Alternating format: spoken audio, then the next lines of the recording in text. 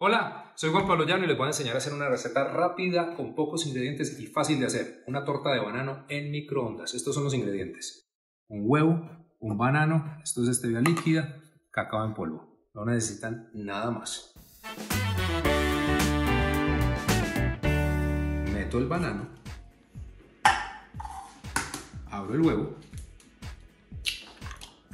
una cucharadita de cacao un chorrito de stevia líquida que me gusta a mí. Si quieren le ponen un poquitito de azúcar o stevia en polvo, no pasa nada. A triturar todo esto para que se fusione. Cuando ya está todo mezclado, ahí ya está todo mezclado, vieron que lo licué. ¿Qué hacen? En el molde que ustedes quieran, que puede ser un pocillo, entonces que sea apto para microondas, lo ponen porque es donde nos lo vamos a comer, que caiga bien. Bien, bien, bien. Ahí está, se ve rico incluso. Y un minuto al microondas.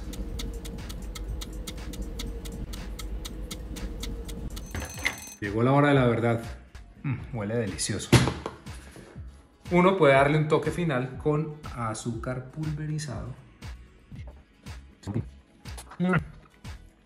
Y a probarlo.